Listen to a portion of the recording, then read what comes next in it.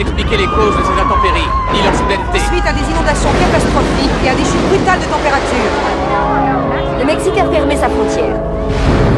Il y a trop de réfugiés américains. Préparez-vous au direct avec Los Angeles.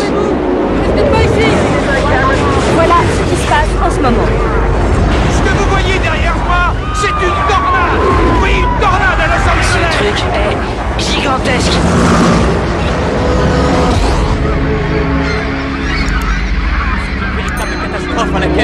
Laquelle nous Manhattan assistons en ce est moment. virtuellement La population est prise de panique, les gens fuient par Un milliers. mur d'eau avance sur New York Fuyez